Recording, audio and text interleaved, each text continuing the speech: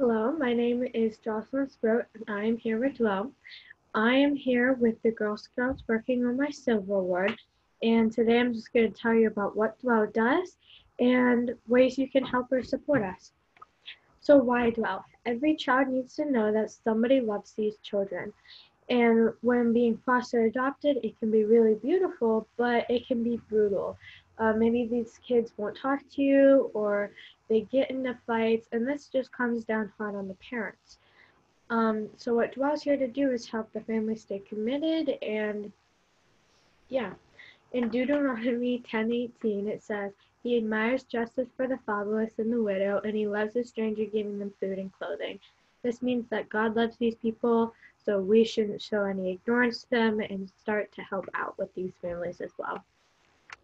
So Jennifer Lake, she's the founder and exclusive director.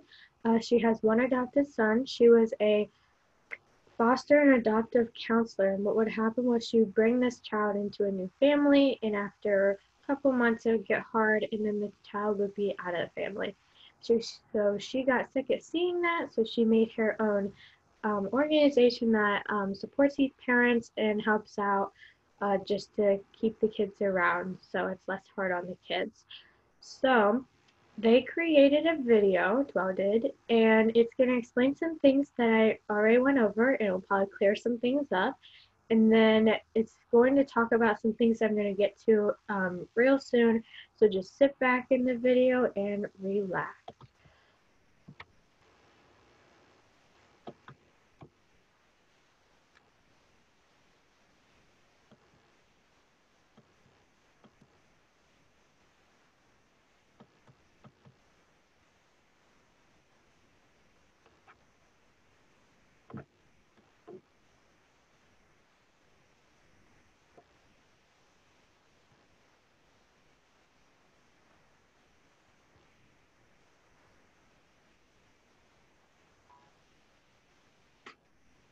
Adoption's always been part of um, our family, for my husband and I.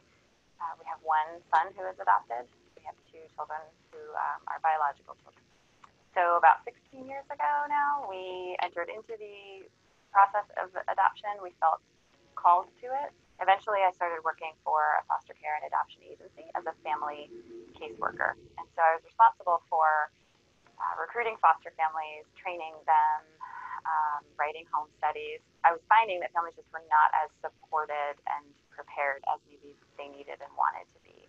And it's not because agencies aren't doing their job or caseworkers aren't doing their job or don't care deeply about uh, the families. Um, it's more a matter of, I think, just this. Um, what I was finding was a lack of community support, um, and it's not that people don't care; it's that they don't know. But I felt God really just calling me to do something different and that he wasn't he wasn't done with me yet in this um, in this area of, of foster care and adoption and caring for vulnerable kids. Um, and so through lots of um, lots of time and prayer and eventually entrusting people with this dream that I was having um, and this calling that I felt, uh, people started believing in it with me and we officially launched in January of 2019. We provide care packages for foster and adoptive families when they receive uh, replacement, um, and, we, and we learn about it. Uh, so I've had the privilege of building relationships with our local agencies, and when they get a new placement, um, they let me know, and then uh, we can put together a care package, care group.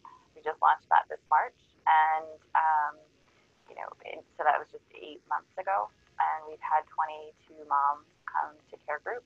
Um, and of those 22 moms, they are caring for um, about 56 foster children or adopted children. We have a goal to do one for dads in the new year too. Adoption scholarships. So that is a program that's for families that are adopting through domestic placement or international adoption. Uh, we do advocacy events um, as well as trauma informed trainings as well. That that will open in the new year too. We'll start some classes on that. I'm trained in a specific um, model called TBRI, which is trust based relational intervention. But it's a trauma informed therapeutic approach to helping and working with kids that are coming from hard places. So we have some, we have a few big initiatives coming for 2020. One of those things is uh, we have a goal to open uh, a foster closet we will call the Hope Chest. And that will be a resource room for foster and adoptive parents, uh, maybe foster families that get emergency placement. And um, often placements happen very like in an emergency situation. And so uh, a lot of times these kiddos are coming with very little, um, sometimes just the clothes on their back.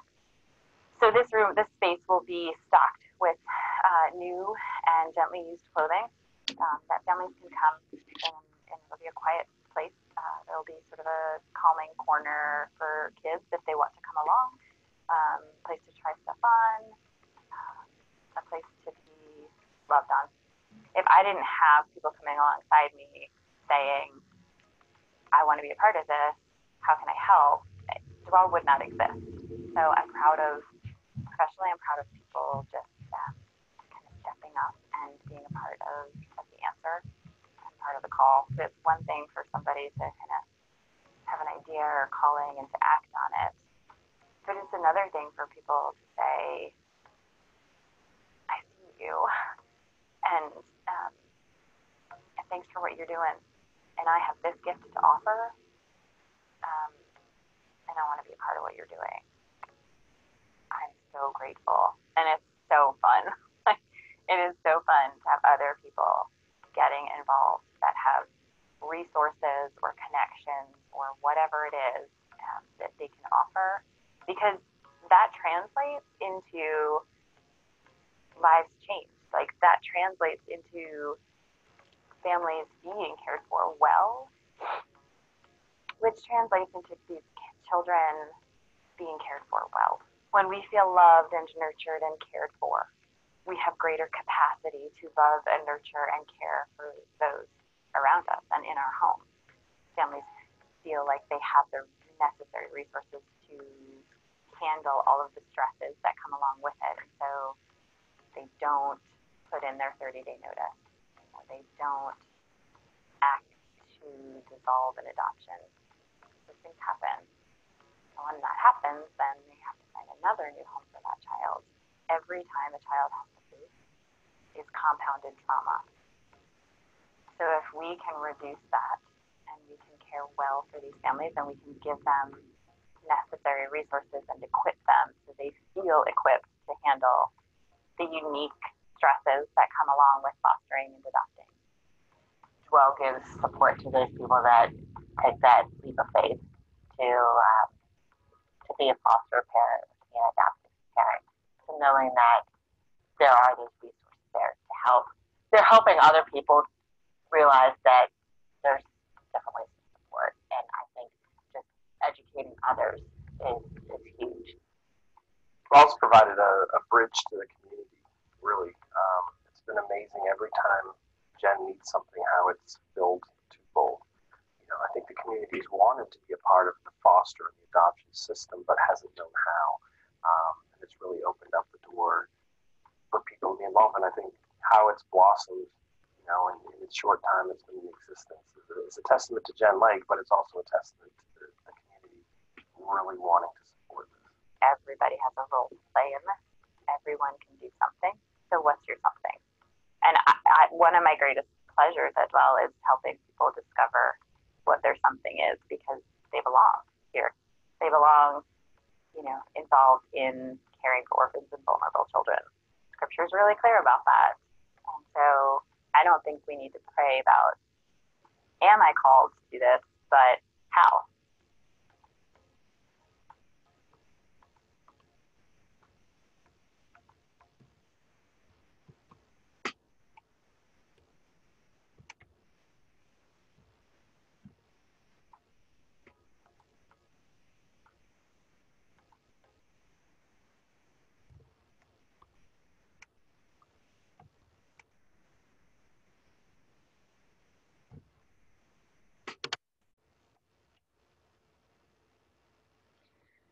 So what Dwell does, so Dwell supports foster and adoptive families, and they do this with different types of support groups. They hand out care packages.